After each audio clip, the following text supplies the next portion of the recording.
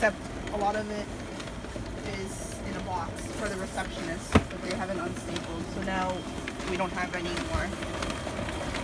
So the scanning is okay. Scanning is fast. Yeah, no, scanning's never really an issue. Just after, like, the processing sometimes. I don't know why. The Wi-Fi. Yeah.